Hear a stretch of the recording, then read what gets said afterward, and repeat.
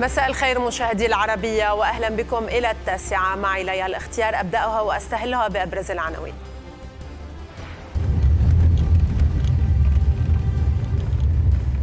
مع تعثر قواته.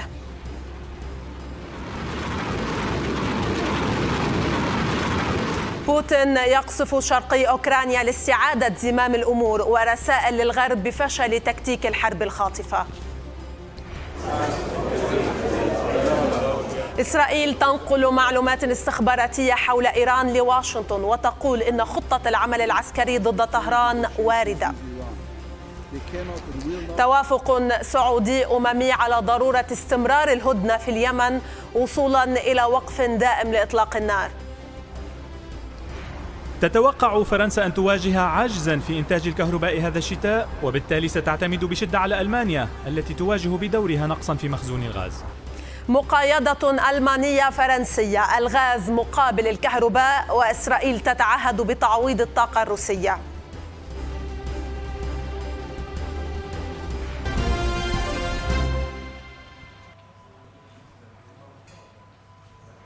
أدان البيت الأبيض القصف الروسي الذي طال البنية التحتية لمدينة خاركيف الأوكرانية. وقال البيت الأبيض أن الأوكرانيين يقاتلون بضراوة لاستعادة أراضيهم.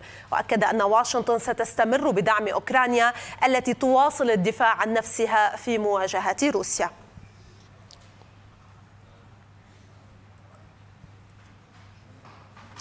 هجوم مضاد مباغت. قامت به القوات الأوكرانية في إقليم خاركيف. كانت نتيجته استعادة ثلاثة ألاف كيلومتر مربع وعدد من المدن الهامة استراتيجيا.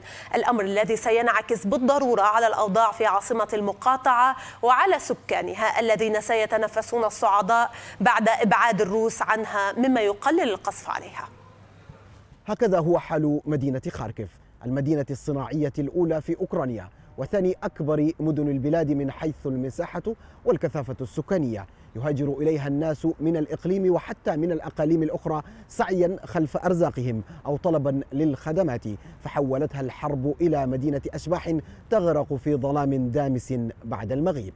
القصف الروسي الكثيف والمتواصل وتمركز القوات الروسية على مقربة من المدينة منع معظم سكانها الفارين من العودة إليها على الرغم من استعادة السيطرة عليها في أيام الحرب الأولى. في منطقة عاد بعض الناس. سيكون كل شيء بخير وستتحسن المدينة وسنعيد بناء المشاريع ومستقبلنا. المهم أن يتم إبعاد الروس من هنا. بعد ذلك كل شيء سيكون بخير. نحن لم نغادر المدينة ومن نزح إلى لفيف بدأوا يعودون. الهجوم المضاد يحرر الأراضي وبالتأكيد سيعود الناس بعد ذلك. معظم المحال والمراكز التجارية مغلقة بل وتمت تغطيتها بألواح خشبية لحمايتها. أما البربشوفا أكبر الأسواق في أوكرانيا والذي عادة ما يضج بالزوار من إقليم خاركيف والأقاليم المحيطة فقد تحول معظمه إلى حطام نتيجة القصف الروسي. كان هذا السوق يستقبل الكثير من الزوار وكانت المرتبات هنا تكفي العاملين. والآن كما تشاهدون قد يستطيع التجار الذين تبقى لهم رأس المال فقط من العودة. خلافا لذلك لا يوجد عمل. الناس كانوا يتاجرون ويشعرون بامتنان كبير ويكسبون المال وتسير حياتهم بشكل طبيعي. فقرر الروس أننا نحتاج إلى مساعدة وهذه هي نتيجة مساعدتهم. يأمل السكان في مدينة خاركيف أن يجلب الهجوم المضاد الذي تقوده القوات الأوكرانية في الإقليم الهدوء لهم وأن يطرد الروس خارج حدودهم مما يمنع أو يقلل القصف على المدينة. حذيفة عادل العربية خاركيف. من خاركيف مراسل العربية حذيفة عادل. حذيفة يعني كيف هي صورة العمليات العسكرية من هناك؟ وأين تتركز المعارك؟ بأي مناطق؟ نعم أهلا بك ليالي. يعني أعلنت قبل قليل نائبة وزير الدفاع الأوكراني أنا مولر عن استعادة 6000 كيلومتر مربع في مقاطعة خاركوف وحدها وقالت أننا اقتربنا جدا من تحرير كامل آه، الولاية. كذلك أفاد مصدر في المكتب الصحفي للجيش أو للقوات الأوكرانية المقاتلة هنا في هذه آه، آه، في هذه المقاطعة. أكد أنهم اقتربوا أيضا من الحدود مع روسيا من اتجاه الشمال وقريبا جدا سيتم تحرير كامل الأراضي كما أفادني آه، قبل آه، قليل. الآن المعارك تدور آه، في منطقة نهر أوسكيل. هذا النهر الذي وصلت إليه القوات الأوكرانية وحررت كامل الأراضي قبل النهر في اتجاه خاركوف وتبقت قليل من الأراضي خلف هذا النهر في اتجاه دونيتسك وفي الاتجاه الآخر من اتجاه الحدود الروسية. طبعا استطاعت القوات الأوكرانية أن تستعيد أهم المدن التي كانت تتمركز فيها قوات كبيرة من القوات الروسية. الروسية كإيزوم وأيضا آه، كبالاكليا وكشفشينكو. والآن يقولون أنه تبقت مناطق قليلة آه، جدا. طبعا آه، أيضا تم الإعلام من قبل وزارة الدفاع الأوكرانية عن تسجيل خمس عشر غارات جوية من قبل الروس بالطيران. وكذلك إطلاق خمس صواريخ. كان نصيب خاركوف من هذه الصواريخ. ثلاثة صواريخ أصابت اليوم نعم. منطقة كييف وبعض المناطق الطرفية. وأيضا أصابت البنية التحتية خاصة آه، محطات الكهرباء في المدينة وانقطعت الكهرباء لفترة نعم. آه، من الزمن ليال حذيفة يعني آه، من التقارير التي صدرت بالساعات الماضية أن العمليات التي تقوم بها القوات الأوكرانية ستقطع طريق الإمداد على عدد كبير من الجنود الروس. كيف هي الصورة بهذه الخريطة؟ وماذا عن الإمدادات الجديدة وعن الحشد الجديد الذي تقوم به روسيا على خط المعارك؟ نعم اولا طبعا دخول الإمدادات للقوات الروسية من اتجاه بلغراد في آه، عن طريق أراضي مقاطعة خاركوف. هذا الأمر سيكون مستحيلا بعد سيطرة القوات الأوكرانية على كامل هذه المنطقة. كذلك هي قطعت بالفعل الإمدادات آه، عن طريق السكه حديد في اتجاه آه، خاركوف وهي يعني محطة السكة حديد الرئيسية التي كان يستخدمها الاتحاد الروسي في إمداد قواته في الشرق الأوكراني لا سيما في اتجاه دونيتسك. أيضا قطعت الطريق أمامهم. آه، الآن طبعا تبقت آه، الأراضي من المنطقتين الانفصاليتين في اتجاه دونيتسك وفي اتجاه لوغانسك. هذه هي المنطقة الوحيدة التي يمكن أن يحصل منها الجنود على الإمدادات. طبعا الآن يطمح الأوكرانيون في استعادة كامل الأراضي في الجنوب تحديدا في مقاطعة خرسون ثم استعادة خاركوف بالكامل وحصر القتال تحديدا في منطقة دونيسك ولوغانسك. وبذلك آه، يكون يعني يعني لن تستطيع القوات الروسية محاصرة القوات الأوكرانية كما فعلت في السابق. السابق وسقطت آه، بعض المناطق نتيجة الحصار لأن القوات استطاعت أن تلتف من مناطق مختلفة من الاتجاه الجنوب ومن اتجاه الشرق ومن اتجاه آه، الشمال. الآن سيكون القتال فقط من وجهة واحدة من اتجاه الشرق هذا بحسب المراقبون آه، هنا ليال. حذيفة يعني حتى مع هذا التقدم الذي حققته القوات الأوكرانية كان هناك مطالبات جديدة لمزيد من الأسلحة الغربية. هل هناك توريد لأسلحة جديدة وما ما هي أنواع هذه الأسلحة؟ نعم طبعا بالفعل تحدث وزير الدفاع الأوكراني ألكسي ريزونكوف اليوم وقال أن آه، حتى نهاية هذا العام ستصل آه، مجموعة من الأسلحة لم يسمها بالتحديد. وطبعا تعلمين أن الأوكرانيون يتكتمون عن نوعية الأسلحة وعن عدد الأسلحة وطريقة وصولها وصولها وصولها إلى الأراضي الأوكرانية أو إلى الجيش الأوكراني آه، في الجبهة. ولكنه بشر القوات الأوكرانية بمزيد من الأسلحة. وأيضا قال أن لدينا أكثر من ثلاثة آلاف جندي الآن يتدربون على أسلحة متقدمة. اقتربوا من إنهاء تدريباتهم ثم سيعودون مباشرة إلى جبهات القتال وبالضرورة عندما يعودون ويبدأون آه، في الانتشار في جبهات القتال سينتشرون بأسلحتهم الجديدة التي تدربوا عليها ليان. شكرا لك مراسل العربية حذيفة عادل حدثتنا من خاركيف. الرئيس الروسي فلاديمير بوتين ورغم انتصارات أوكرانيا في الغرب قال أن تكتيك شن حرب خاطفة على موسكو لم ينجح. المتحدث باسم الكرملين ديمتري بيسكوف قال أن روسيا ستحقق أهداف عمليتها العسكرية في أوكرانيا وأنه يجب على الدول أن تقتنع وتقنع كييف بوقف قصف المباني الواقعة في محيط محطة زابوريجيا النووية. بالطبع ستحقق روسيا الأهداف المحددة للعملية العسكرية الخاصة الرئيس على اتصال دائم بوزير الدفاع وجميع القادة العسكريين لا يمكن أن يكون الأمر خلاف ذلك خلال العملية العسكرية الخاصة لا يوجد حديث عن سحب القوات. نحن نتحدث عن أهم شيء إجبار الجانب الأوكراني على وقف قصفه الهمجي للمباني في محطة زاباروجيا النووية مما قد يؤدي إلى عواقب وخيمة للغاية. كما أننا نواصل دعوة جميع الدول التي لها نفوذ لاستخدامه لإقناع الجانب الأوكراني بوقف القصف الذي يحدث يوميا. كتب المحلل العسكري في صحيفة الشرق الأوسط عندما هاجم داريوس ملك بارثيا المملكة السيثية تمنع هؤلاء عن القتال المباشر وانسحبوا نحو الشمال معتمدين سياسة الأرض المحروقة خلال انسحابهم مع إبقاء فاصل زمني ليوم واحد بين الجيشين أثناء السير. وكلما تقدم داريوس رصده سلاح الفرسان الكشاف السيثيين ليستكمل انسحابهم نحو الشمال. تكررت العملية لفترة طويلة بين الكر والفر. استنفذ جيش داريوس فواجه المجاعة عدة مرات ثم انسحب ولم يستطع استعمال قواته المتفوقة عددا وعدة. هل يمكن إسقاط هذه الحادثة التاريخية على ما يجري في أوكرانيا؟ ربما تقول الشرق الأوسط. فالمملكة السيثية تاريخيا امتدت لتضم قسما مهما وكبيرا من أوكرانيا الحالية وقد تكون ثقافة القتال غير المتكافئ موجودة في جينات الأوكرانيين. لكن الأكيد أن جينات مقاتلي الكوزاك لا تزال تجري في عروق الأوكرانيين لأنهم من أصل سلافي. فالكوزاك شعب حر لا يتقيد بمكان أو قائد. لكن العام 1917 آه، أعدم أو أعدم الجيش الأحمر الجيش الروسي الأحمر الألاف منهم بعد الثورة البلشفية. خاركيف المعجزة العسكرية التي حققتها أوكرانيا. نصر عسكري أنعش أمل كييف بانتزاع شرق أوكرانيا من روسيا بل وحتى باسترجاع ما خسرته أوكرانيا عام 2014 أي شبه جزيرة القرم. أوكرانيا استعادت مدنا استراتيجية في مقاطعة خاركيف شمال الشرقي أوكرانيا. القوات الروسية غادرت هذه المناطق التي كانت سيطرت عليها في الأيام الأولى من الحرب تاركة خلفها طوابير من الدبابات والأسلحة الثقيلة المدمرة ولكن كيف تمت هذه العملية العسكرية؟ أوكرانيا شنت هجوما محدودا على خرسون في الجنوب قبل أسبوعين للإيحاء بأن خرسون هي الهدف الأساسي.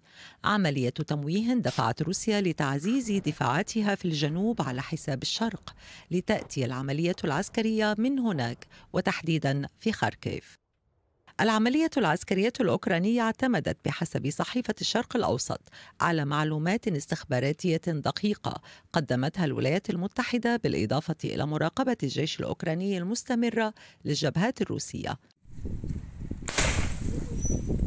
الدعم العسكري الغربي وخاصة راجمات هيمارس منحت الجيش الأوكراني تفوقا عسكريا على الأرض تقول واشنطن إن هذه المنظومة سمحت لأوكرانيا بتدمير نحو 400 هدف استراتيجي روسي منها مراكز قيادة ومخازن الذخيرة بالإضافة إلى بنى تحتية ومنشآت لوجستية. هزيمة هي الأسوأ لروسيا منذ أن أجبرت على التخلي عن محاولاتها للسيطرة على العاصمة كييف. لكن الحرب تبدو طويلة. نجاح أوكرانيا يعتمد على مدى قدرتها على الحفاظ على المكاسب التي حققتها في الشرق. وهناك سيناريوهات عدة للرد الروسي على التقدم الأوكراني الأخير. رد قد يبدأ بقصف عشوائي لكل المدن الأوكرانية بما فيها كييف أو إعلان بوتين الحرب والتعبئة الروسية العامة. وقد تفتح جبهة بيلاروسيا بل ربما يحاول الكرملين استفزاز دول في البلطيق والمنضوية تحت درع الناتو. حنان المصري العربية. معنا من موسكو آه، بافل فيلجنهاور المحلل العسكري الروسي أستاذ بافل يعني كل الدراسات الغربية عن التخطيط والتنفيذ الروسي كانت تتحدث بأن حرب طويلة الأمد لروسيا مع رصد كل الناتو لقوتها على الأرض مع معنويات الجيش الأوكراني ستؤدي بنهاية المطاف إلى هزيمة الجيش الروسي على الأرض هل بدأنا نلمح ملامح هذا التحليل؟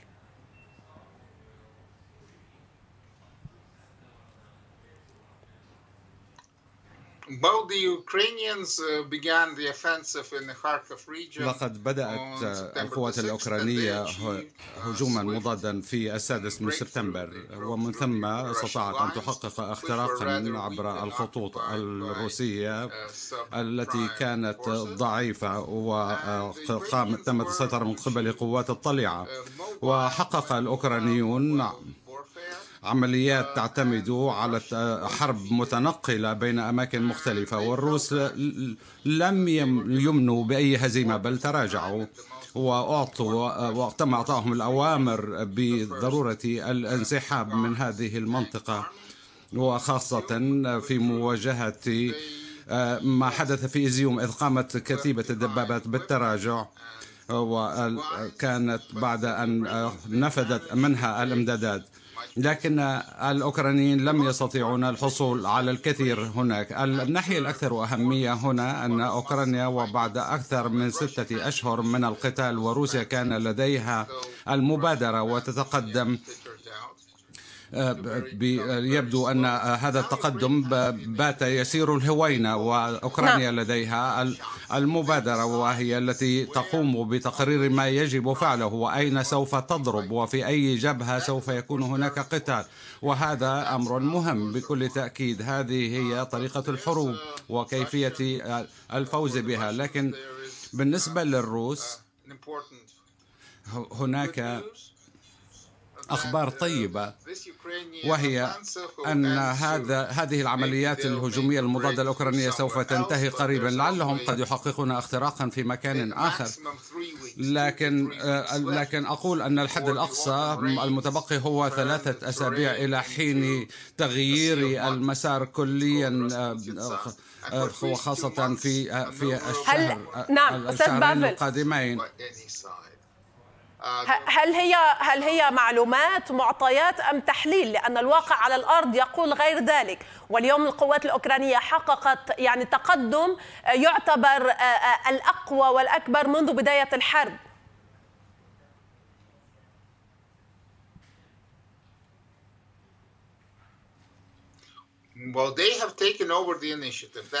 لقد حصلت القوات الأوكرانية على زمام المبادرة. هذا هو الأمر الأساسي وهذه المبادرة كانت موجودة سابقا لدى الروس. بدون المبادرة لا يمكن الفوز في الحرب. لكن لكن هناك موسم الأمطار والطيون والوحل قادم وسوف تقوم كافة عمليات القتال تتسم بالمناورة. وسوف تتركز حول خيرسون وبعض النقاط الأساسية لكن قد نرى انه انه أن هذا الأمر قد يستمر حتى شهر ديسمبر حيث تبدأ حملة الشتاء. لذا وقد كانت القوات الأوكرانية لديها زمام المبادرة وأن تقوم بإلحاق ضربة قوية ضد الروس. خلال الأسابيع المقبلة. أنا لست متاكدا أن هذا يحدث أن هذا سوف يحدث لك لكن كل العملية الهجومية المضادة سوف تتوقف والقوات الروسية تقوم بإعادة التموضع تحضيرا لحملة الشتاء. ولكن يعني العزم الأوروبي والأمريكي ممكن أن يقول عكس ذلك. شكرا لك أستاذ بافل فيلجنهاور المحلل العسكري الروسي حدثنا من موسكو. التاسعة مستمرة وفيها بعد قليل. فرنسا تطالب مواطنيها بخفض الاستهلاك لتزويد ألمانيا بالغاز.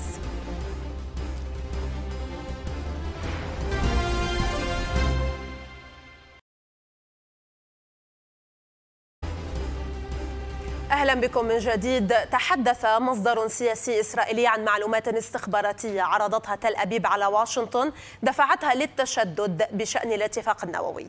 وقال المصدر إن الخيار العسكري مطروح على الطاولة بشأن التعامل مع إيران وأن حزب الله إذا حاول اختبار إسرائيل بشأن الحدود البحرية فسيدفع ثمنا باهظا. إلى ذلك فإن جولة المسؤولين الإسرائيليين لمنع اتفاق النووي مع إيران تصل برلين بعد محادثات كثيفة في واشنطن. يائير لبيد رئيس الوزراء الإسرائيلي. أبلغ المستشار الألماني أولف شولز أن خطر امتلاك إيران قنبلة نووية يتفاقم ويهدد العالم. علينا أن نعمل معا في وجه الخطر المتفاقم من أن تصبح إيران دولة نووية وهذه مسؤولية تعهدت بها ألمانيا. حان الوقت لتجاوز المفاوضات الفاشلة مع إيران لأنها أساسا لم توقف محاولاتها في الحصول على سلاح نووي. إيران تزعزع أمن الشرق الأوسط وستؤدي إلى سباق نووي يهدد العالم كله. وفي ظل الظروف الراهنة الاتفاق سيكون خاطئا وحساسا وسيجلب موجات جديدة من الإرهاب. ليس في الشرق الأوسط فحسب بل في أوروبا أيضا. المستشار الألماني قال إنه لا يوجد سبب لعدم موافقة إيران على المقترح الأوروبي متفقا مع لبيد على ضرورة منع إيران من الحصول على سلاح نووي. اتفقنا مع إسرائيل على أن إيران يجب أن لا تحصل على السلاح النووي. كما نؤمن بأن الاتفاق الدولي حول الحد من برنامج إيران النووي هو السبيل الوحيد لذلك. كما أنني أشعر بالأسف لأن إيران لم تعطي أي ردة فعل إيجابية حول الاقتراحات التي قدمت لها. تصريحات لأبيد وشولتز تزامنت مع تصريحات لرئيس الموساد الإسرائيلي. قال فيها أن الاتفاق النووي مع إيران لن يمنح طهران حصانة ضد عمليات تل أبيب. مؤكدا أن إسرائيل أحبطت عشرات المحاولات الإيرانية لاستهداف إسرائيليين مؤخرا وأن الرد سيكون موجعا وداخل إيران. من تل أبيب ينضم إلينا يوسي آه، كوبرفايزر رئيس شعبة الأبحاث في الاستخبارات العسكرية السابقة. آه، سأبدأ إلى موضوع الخيارات الإسرائيلية في حال تم التوقيع على اتفاق نووي. كان موضوع آه، فقدنا الاتصال أم لا؟ على ما يبدو. نعم. آه، أستاذ كوبر كنت أسأل موضوع الحشد الإسرائيلي اليوم لموقف أوروبي وأمريكي آه، ضد الاتفاق النووي. ممكن أن يؤجل هذا الاتفاق إلى ما بعد الانتخابات النصفية الأمريكية وما بعد الانتخابات الإسرائيلية ولكن لن هو يؤخر ولن يمنع. ماذا ستفعل إسرائيل في الفترة المقبلة؟ I think in the coming future في المستقبل غير البعيد. إسرائيل سوف تركز على شرح الموضوع للأوروبيين والأمريكي والولايات المتحدة من خلال المعلومات الاستخباراتية التي توفرت لدينا حول مدى أهمية عدم العودة لاتفاقية خطة العمل الشاملة المشتركة. لأن هذه الاتفاقية سوف تسمح لإيران بأن تنال الشرعية وأن تنال القدرة الكاملة لإنتاج ترسانة كاملة من السلاح النووي. ورغم ما يقوله الأمريكيون والأوروبيون بأنه يجب على إيران أن تمتلك سلاح نووي أو لن يسمحوا لها لكن لن يكونوا قادرين على منع إيران. من إنتاج ترسانة كبيرة من السلاح النووي في نهاية هذه الاتفاقية. ولهذا الأمر يجب عدم العودة لنفاذ هذه الاتفاقية. هذه هي الرسالة التي تسعى إسرائيل لنقلها إلى الجانب الأمريكي والأوروبي في الفترة القريبة. نعم. هذه يعني هذه معركة الرأي العام والرأي ومعركة السياسية التي تخوضها آه، آه، تل أبيب يقابلها تأكيد إسرائيلي بأن الضربة لا محالة فيها وهذا ما أكده رئيس الموساد. هذه الضربة هل ممكن أن تقوم بها تل أبيب بدون موافقة أمريكية خصوصا أنها فعلتها مرتين في تاريخها؟ وهل ممكن أن تتحمل عقباتها إذ ممكن أن تتحول إلى حرب شاملة؟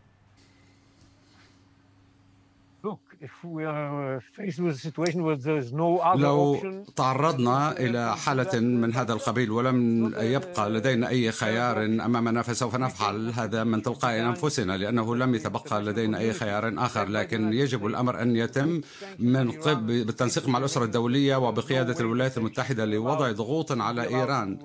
يتم من خلالها رفض السماح لإيران ومنعها من امتلاك قدرة لإنتاج سلاح نووي وأن يتم فرض العقوبات من خلال أيضا التهديد بالخيار العسكري لأنه إذا ما كان هذا الأمر فإن إيران سوف تتوقف من الانتقال بسرعة للقدرة النووية ولكن هذا الأمر لن يحدث وكما ترون بأن الأسرة الدولية حتى اللحظة قد يأست من وقف إيران وقدرة حصولها على سلاح نووي إذا يجب فعل ما هو لازم وإسرائيل كانت تقول بأنها لن تسمح لإيران امتلاك سلاح نووي وإذا كنا لننتظر حتى نهاية خطة العمل الشامل المشتركة. فإسرائيل حتى أنها هي بحد ذاتها لن تسمح لذا لابد لنا أن نتصرف بصورة مباشرة. نعم. وبالتالي هل نحن أمام جولة جديدة من الضربات الاستباقية الإسرائيلية لمراكز يعني تمركز إيران في المنطقة؟ وهنا أتحدث أيضا عن أذرع إيران وتحديدا حزب الله الذي اليوم يلوح بورقة الحرب في الجنوب وأن أي تنقيب قبل الاتفاق الرسمي على ترسيم الحدود سيقابله فتح جبهة الشمال. Well, I think that in, in as far as the Iranian effort أعتقد أنه على وفقا للجهود التي تبذلها إيران في من خلال دعم حزب الله بالذخائر وهذا موضوع قلق وطالما أنها مستمرة في هذا الأمر فنحن سوف نعمل على وقف ذلك والمعلومات التي حصلنا عليها من وزير الدفاع الإسرائيلي تقول لكم بأن هذه الجهود الإيرانية مستمرة ولا بد من وقفها أما فيما يتعلق بتوترات حزب الله المتصلة بحقل الغاز في البحر فهذا الأمر لن ينتهي في عملية تصعيد. فالأمر يتوقف على حزب الله. يبدو بأنه هو الذي يتطلع للتصعيد ومن أجل من أجل وقف مستقبل لبنان اللامع الذي ينتظره الشعب اللبناني منذ فترة طويلة. هذا لا نأمل به نتوقع بأن نتوصل إلى حالة يكون فيها الجميع كاسبا. لكن حزب الله مستمر بتهديداته ويقرر أن وإذا ما قرر أن يتصرف فنحن على استعداد لمجابهته وأن ننتقم بشدة. شكرا لك يوسي كوبرفايزر رئيس شعبة الأبحاث في الاستخبارات العسكرية السابق. نختم الملف بتصريحات المتحدث باسم الخارجية الإيرانية ناصر كنعاني الذي قال أن بلاده تؤكد على استعدادها للتعاون مع الوكالة الدولية للطاقة الذرية وأن أطراف الاتفاق لا يجب أن يتأثروا بسلوك إيران لقد أعلنت جمهورية إيران الإسلامية عن استعدادها لمواصلة التعاون البناء مع الوكالة الدولية للطاقة الذرية وتؤكد على هذا الاستعداد مرة أخرى.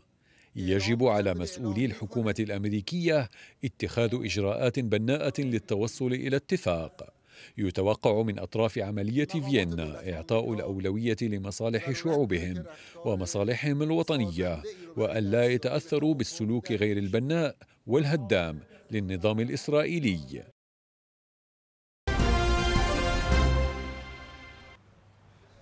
بالإضافة للحلول الخارجية تلجأ أوروبا لحلول داخلية لتعويض نقص الغاز الروسي وانعكاساته على الحياة فيها. ألمانيا وفرنسا مثلا قررتا تبادل الكهرباء والغاز فخمسة بالمئة من الغاز الفرنسي سيذهب لبرلين مقابل تزويد باريس بالكهرباء.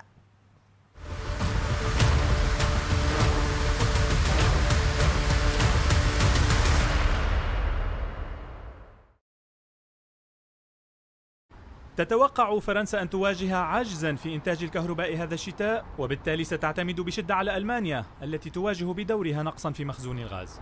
لذلك وجد البلدان أن الحل هو مقايضة الغاز الفرنسي بالكهرباء الألمانية. هذه الخطة ستسمح بإرسال قرابة 5% من الغاز الفرنسي إلى ألمانيا. لكن لتحقيق ذلك تطالب الحكومة الفرنسيين بالمساهمة في خطة خفض استهلاك الطاقة هذا الشتاء. فكيف سيتم ذلك؟ في الشتاء يضطر الناس لوضع أجهزة التدفئة على درجة عالية والآن الحكومة تطالب ألا تتجاوز هذه الدرجة 19 درجة مئوية ومن المفارقات أن ألمانيا كانت تخطط لإغلاق محطات توليد الطاقة التي تعمل بالفحم هذا العام لكن الحاجة الفرنسية قد تدفع برلين إلى إطالة عمر تلك المحطات من أجل إنتاج تيار كاف لمساعدة فرنسا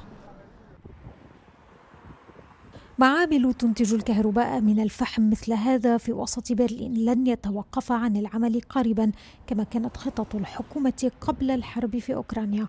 فهي أعلنت عن إبقاء مجموعة من معامل الفحم مفتوحة للتعويض عن الغاز الروسي وقد تضطر لتطيل عمرها أكثر بعد لتلبية حاجات السوق الأوروبي إضافة إلى حاجتها. ولكن ليس الفحم وحده مصدر الكهرباء هنا.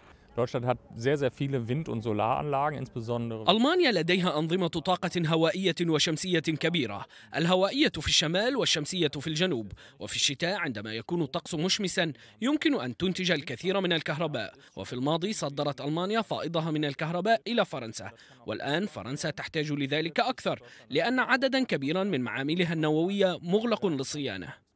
رغم أن ألمانيا كانت دائما مصدرا للكهرباء لجيرانها فهذا العام قد تضطر لزيادة هذه النسبة خاصة لفرنسا.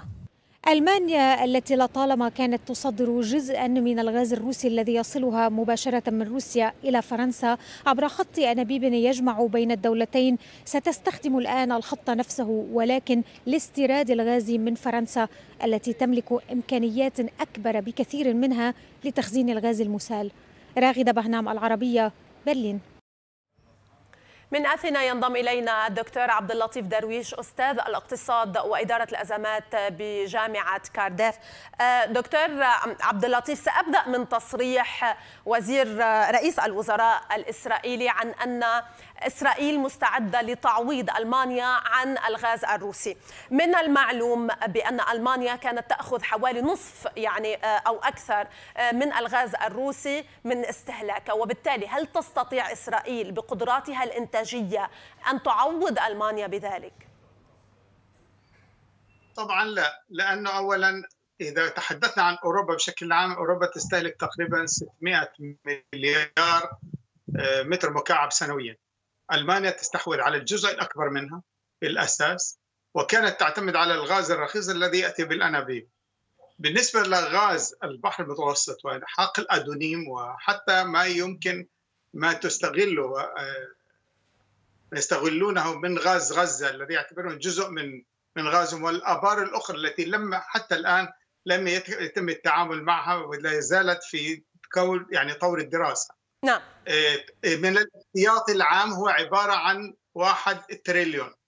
إذا إذا كان واستهلاكهم الداخلي 300 مليار فإذا هم غير قادرين على الإيفاء باحتياجات ألمانيا. لأنه أيضا الدولة الوحيدة في البحر المتوسط تقوم باساله الغاز هي مصر. فبالتالي الغاز يجب أن يذهب إلى مصر. صحيح. ثم يعود إلى يذهب إلى أوروبا. فالأسعار إضافة إلى عفوا ألمانيا موانئها ليست مؤهلة لاستقبال الغاز في من خلال البواخر أو الناقلات لأنه أيضا البنية التحتية للموانئ. نعم. أه، دكتور حتى وإن قام الجانب الإسرائيلي حسب ما أعلن بالسنة الماضية ب أه، أتحدث هنا عن حقل ليفياثان هما حقلان ليفياثان وتمار إن قام ب أه، يعني مضاعفة الإنتاج هل يستطيع تعويض جزء من النقص الالماني؟ لا طبعا تقنيا يعني نحن يجب أن نسال الفنيين إذا عجزت الجزائر عن الايفاء يعني بمساعدة الأوروبيين وعجزت آه، قطر فهل هل يمكن هم أن يلبوا ذلك؟ أيضا هناك المسألة الفنية ما يسمى إرهاق الآبار. لا تستطيع الآبار أن نخرج منها كما نخرج المياه من آبار المياه. يعني هي أيضا هناك محدودية للإنتاج. لنتيجه تأكل الأنابيب والأجهزة بالإضافة إلى خلق مشكلة ما يسمى بإرهاق الابار فبالتالي حتى فنيا ليست صحيحة إنما هي عبارة عن فقاعة ترمى هنا للحصول على بعض الاهتمامات السياسية من الدول الغربيه وتقديم بعض يعني التنازلات في بعض الملفات العالقة مثل الملف الفلسطيني والملف وما يسمى مثلا إنتاج المستوطنات دكتور؟ الذي أيضا نعم. الغرب هل هل يمكن لهذه الأزمة أن تعيد النقاش حول الخط التركي الإسرائيلي يعني للحديث الجدي من جديد خصوصا أن هناك العديد من المعوقات على هذا الخط؟ هناك إشكالية فيما يسمى غاز البحر المتوسط أو شرق البحر. الدول ليست يعني ليست متفقة.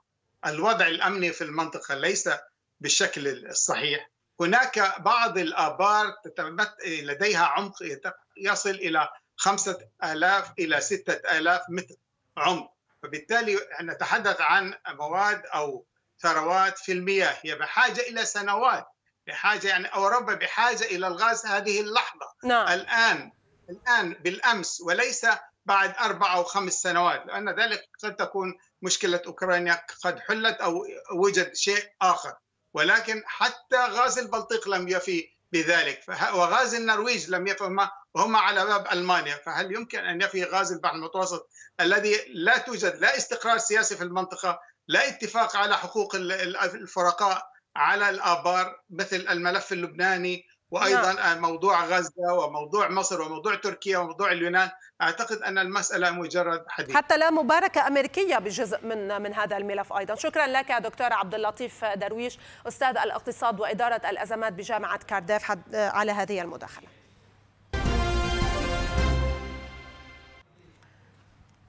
التقى السفير السعودي لدى اليمن محمد الجابر في الرياض المبعوث الأمريكي إلى اليمن وأكد خلال اللقاء أهمية المحافظة على الهدنة التي ترعاها الأمم المتحدة ومناقشة الجهود المشتركة لإنجاحها وأهمية التزام الحوثيين ببنودها وسرعة فتح الطرق في تعز لتخفيف المعاناة الإنسانية بالإضافة إلى إيداع الإيرادات في البنك المركزي اليمني لصرف رواتب المدنيين كما جرى تأكيد الهدنة والهدف من الهدنة وهو التوصل لوقت وقف إطلاق نار دائم وشامل في اليمن وبدء العملية السياسية بين الحكومة اليمنية والحوثيين.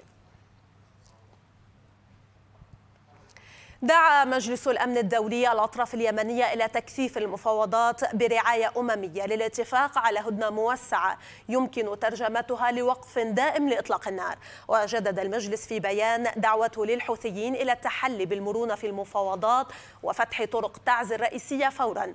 وأدان البيان جميع الهجمات التي هددت بعرقلة الهدنة بما فيها تلك التي شنها الحوثيون على تعز في الآونة الأخيرة.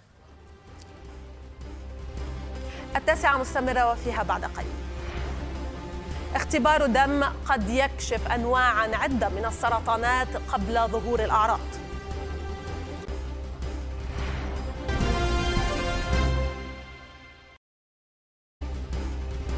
أهلا بكم من جديد. دراسة طبية جديدة تتوصل إلى أن اختبار دم بسيط قادر على كشف أنواع متعددة من أمراض السرطان قبل ظهور الأعراض الواضحة على المرضى.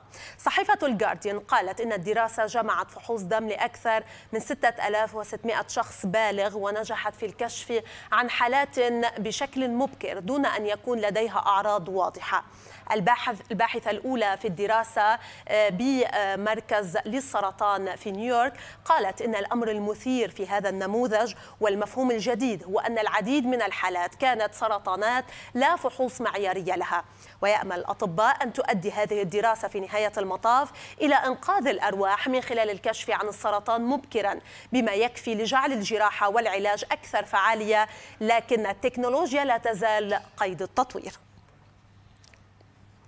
من فرنسا تنضم إلينا الدكتورة أصالة لمع الباحثة في العلوم السرطانية والبيولوجيا الجزئية. يعني هذه التقنية التي نتحدث عنها اليوم تم الكشف عنها في المرة الأولى عام 2020 وطورت أكثر وأكثر. إلى أي مدى هي قادرة مع الفحوص الطبية الأخرى ل يعني تشخيص دقيق للسرطان؟ مساء الخير. نعم هي ليست هو الفحص ليس جديدا تم تطويره منذ حوالي عامين اسمه ال Galleri test المبدأ آه، لهذا الفحص لكي نفهم أكثر عن ماذا نتكلم أنه يلتقط في الدم أجزاء من الحمض النووي الخاص بالورم. نحن نعرف يعني أن الورم لديه مادة جينية مختلفة عن الخلايا الطبيعية.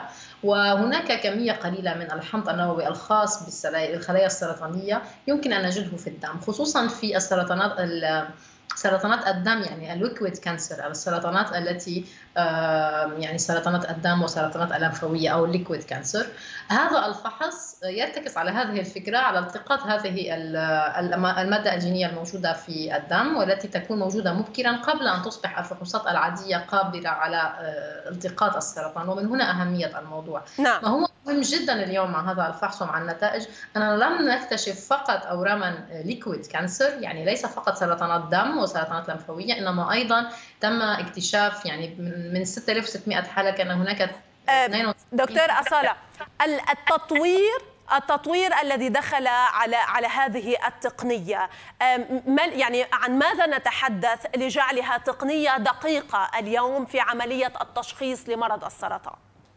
هي ليست ليست بعد تقنية دقيقة، نحن يعني هنا نتحدث عن تفاصيل سيكون صعب من من الصعب جدا شرحها، نحن نتحدث عن تفاصيل علمية تم العمل عليها على هذا الفحص.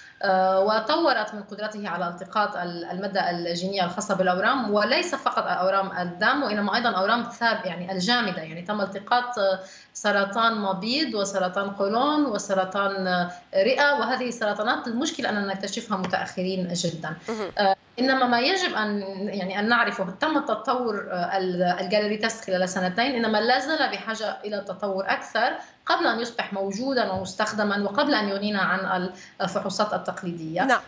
قد يكون أهميته اليوم أن يدخل في التجارب للسرطانات التي ليس لدينا لها أي فحوصات معيارية. يعني مثلا سرطانات الثدي لدينا الصورة الإشعاعية سرطانات الرحم أيضا لدينا فحوصات دورية. إنما هناك سرطان كالبنكرياس والمبيض وغيره. سوف أعتقد أننا سوف نستخدم هذه الفحوصات أكثر وأكثر طبعا بالاتفاق مع المرضى ومع الأطباء لتطويرها لأنه كلما قمنا بتجربة هذا النوع من الفحوصات كلما كلما وصلنا على اكتشاف ما الذي يجب أن نغيره فيها وما الذي يجب أن نطوره لنحسس من حساس لنحسن من حساسية الفحوصات. نعم. دكتورة يعني هذه التقنية غالب غالبا ما يتم يعني ان أن تستتبع بفحوصات معينة كال PET CT أو غيرها. يعني ما الفحوصات الأخرى التي يتم التي تجرى للتاكد من نتيجة الفحص ولتدعيم النتيجة؟ يعني غالبا نحن نتحدث عن فحوصات يعني الصور الإشعاعية وال PET scan كما قلتي لأنها يعني نعود إلى الفحوصات التقليدية الخاصة بكل نوع من الأورام. يعني مثلا في سرطانات الدم هناك فحوصات خاصة بالنخاع العظمي نقوم بها بشكل دائم لاكتشاف تغيرات في الخلايا التي تقوم بتشكيل خلايا الدم من بعدها. في حالة سرطانات القولون والرئة سوف نقوم بعمليات ال PET scan والتصوير. يعني لكل سرطان نستتبع الفحص الأول بالفحوصات التقليدية التي تستخدم لكل سرطان. في حالة سرطان الثدي سوف تكون الصورة الإشعاعية للثدي وهكذا. نعم. إنما يعني المهم المهم فقط ما, أريد ان أن أذكره أنه يعني نسبة يعني 99% من الأشخاص الذين أتت فحوصاتهم سلبية كانوا بالفعل سلبيين. يعني نسب نسب ما نسميه يعني false positive قليلة جدا وهذا أمر مهم وفي صالح هذا الفحص أيضا. شكرا لك دكتورة أصالة لمع الباحثة في العلوم السرطانية والبيولوجيا الجزيئية حدثنا من فرنسا. أعلنت مستشفيات العاصمة السورية دمشق رفعها حالة التأهب بعد تسجيل أكثر من 24 حالة إصابة بالكوليرا وثلاثة حالات وفاة على الأقل. وكشفت مديرية الصحة بدمشق أنها تعمل بشكل مكثف عبر فرق الترصد الوبائي لأخذ العينات اللازمة للكشف عن بكتيريا الكوليرا في مياه الصرف الصحي إضافة إلى أخذ عينات من بعض الخضروات بمناطق مختلفة.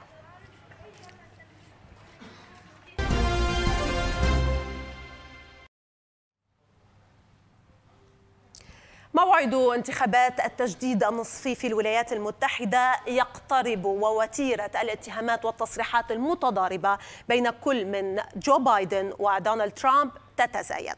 صدامات بين الجمهوريين والديمقراطيين لم يسبق لها مثيل في تاريخ السياسة الأمريكية على مدى العقد الأخير. تزامنت مع بدء العد التنازلي لانتخابات التجديد النصفي المقررة يوم الثامن من نوفمبر المقبل والتي ستحدد مستقبل توازن القوى في الكونغرس الأمريكي. الجمهوريون هذه المرة يعولون على استعادة الأغلبية في مجلس النواب الذي يستحوذ عليه الديمقراطيون حاليا بواقع 222 مقعدا مقابل 213 مقعدا للجمهوريين حيث يحافظ الجمهوريون على تفاؤلهم بإمكانية الفوز بمجلس النواب الأمريكي لكنهم يخفضون سقف توقعاتهم فيما يتعلق بقدرتهم على قلب مجلس الشيوخ لمصلحتهم. خمسة مقاعد متأرجحة الولاء في انتخابات التجديد النصفية في كل من بنسلفانيا ويوسكونسا وجورجيا حيث تم تسجيل تقدم للحزب الديمقراطي عكس ولاية نيفادا وأريزونا التي تميل للجمهوري استطلاع أجرته صحيفة وول ستريت جورنال الأمريكية أظهر أن الديمقراطيين سيدخلون هذه الانتخابات في وضع أفضل مما كانوا عليه في السابق. لكن في الوقت نفسه لا يزال لدى الجمهوريين وقود انتخابي يمكن الاستفادة منه إذا نجحوا في إبقاء النقاش مركزا على الاقتصاد وتسجيل أعلى نسبة تضخم منذ أربعة عقود.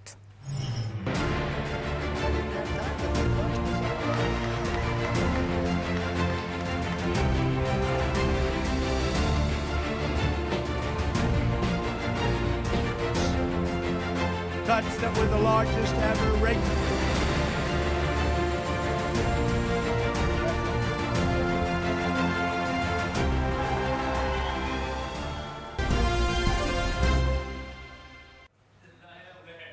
يبحث صندوق النقد الدولي توسيع نطاق الحصول على مساعدات طارئة لمواجهة أسعار وارتفاع أسعار الغذاء. الناتجة عن غلق طرق الإمدادات والعقوبات والقيود التجارية التي تم فرضها في الفترة الأخيرة والتي تنذر بأسوأ أزمة غذاء عالمية. حيث يسعى صندوق النقد الدولي لتوفير تمويل طارئ للدول التي تواجه صدمات أسعار الغذاء ونقص الغذاء والجوع الحاد بسبب الحرب الدائرة في أوكرانيا ضمن خطة لم يتم الكشف عنها بعد والتي ستتيح لصندوق النقد الدولي مساعدة أوكرانيا ودول أخرى خاصة في أفريقيا دون فرض الشروط المطلوبة في برامج التمويل العادية. ومن المتوقع إجراء تصويت رسمي يدعم الإجراء قبل الانتخابات والاجتماعات السنوية للصندوق في أكتوبر المقبل. وفي حالة الموافقة عليه فإنه سيتيح لجميع الدول الأعضاء اقتراض ما يصل إلى 50% إضافية من حصتها في صندوق النقد الدولي بموجب أداة التمويل السريع.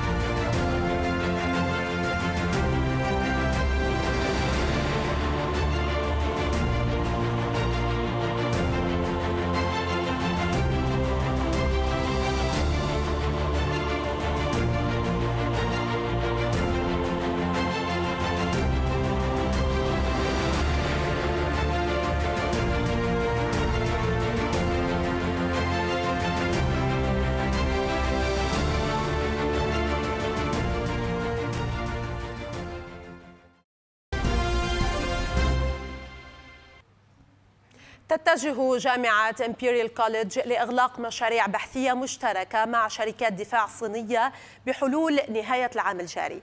وبحسب صحيفة The Guardian البريطانية تأتي إجراءات الإغلاق عقب تحذير أمني من قبل جهاز IM أو MI 5 الاستخباراتي ومكتب التحقيقات الفيدرالي يشير إلى إمكانية حدوث عمليات تجسس على جامعات المملكة المتحدة. وبالإضافة إلى المركزين المقرر إغلاقهما في إمبيريال كوليدج كوليدج تم إنهاء خمسة مشاريع للتعاون خلال السنوات الثلاث الماضية. وكانت جامعتا إمبيريال كوليدج ومانشستر تلقتا أموالا من شركات مملوكة للدولة تزود الجيش الصيني بطائرات مقاتلة وبرامج مراقبة وفق ما أفادت الجارديان كما يرى خبراء أمنيون أن استمرار المشاريع البحثية مع الصين قد يمكنها من تحقيق تطور عسكري واسع خلال الفترة المقبلة. إلى الصين وملف كورونا حيث تسبب الإغلاق الذي فرض على المدن بسبب مكافحة كوفيد 19 تسبب بمعاناة ملايين السكان الذين بات جل همهم البحث عن الطعام والسلع لشرائها قبل الإغلاق في ظل حالة من اليأس بسبب البقاء الطويل في المنزل. ووضع نحو 65 مليون شخص في 33 مدينة في جميع أنحاء الصين تحت الإغلاق الجزئي أو الكامل. إجراءات مضاعفة تتخذها السلطات لمواجهة تفشي فيروس كورونا قبل المؤتمر العشرين للحزب الشيوعي الصيني منتصف أكتوبر.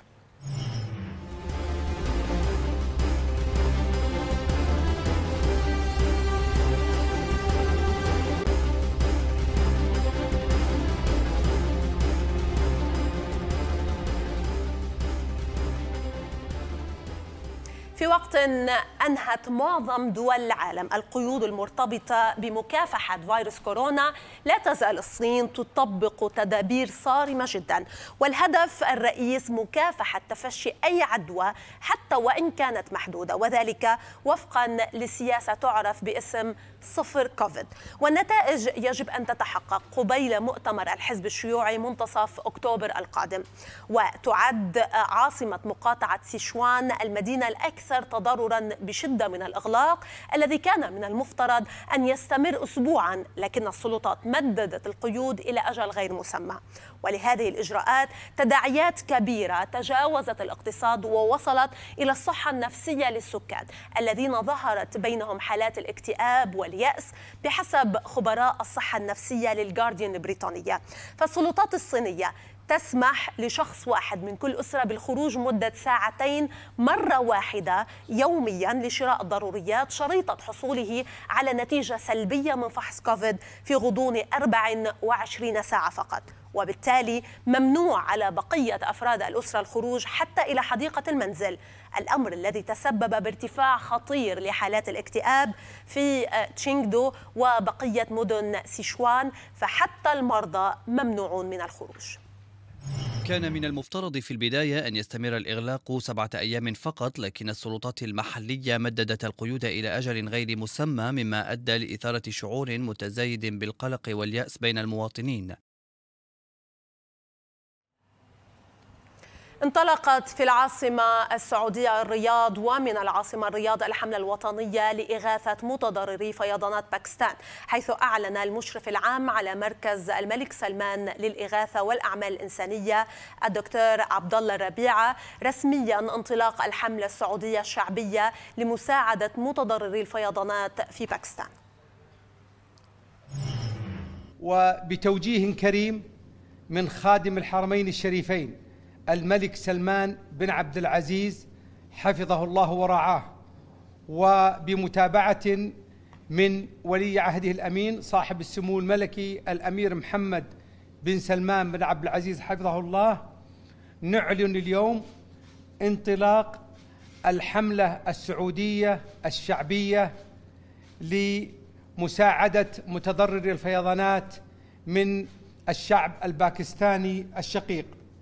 هذه الحملة تأتي دعما لما تقوم به المملكة العربية السعودية من جهود ومساعدات إنسانية منذ بدء هذه الكارثة من خلال مركز الملك سلمان للإغاثة والأعمال الإنسانية.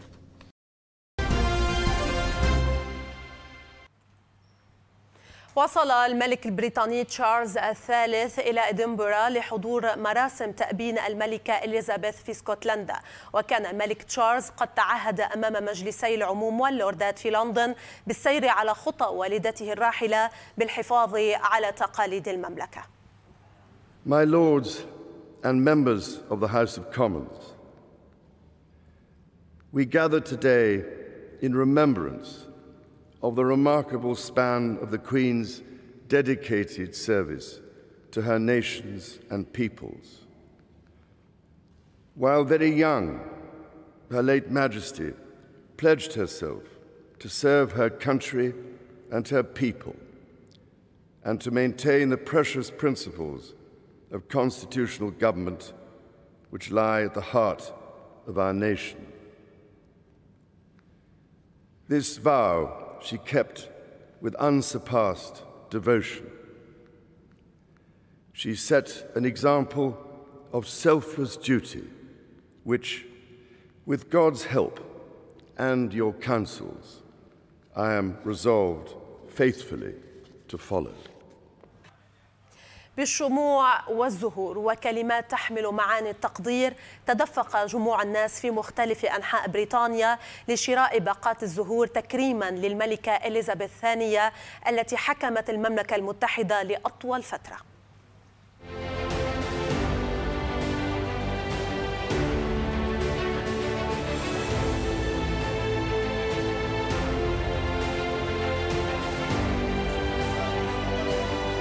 So next next Sunday, uh, just day before the funeral, it should be very busy.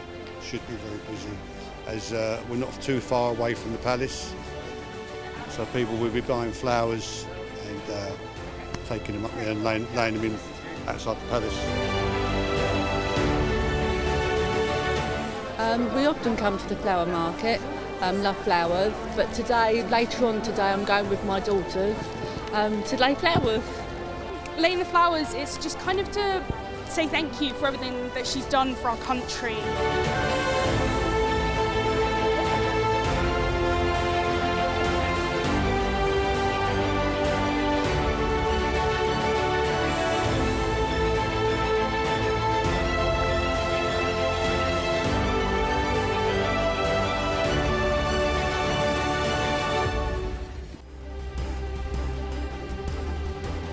ختام التاسعة مع العناوين.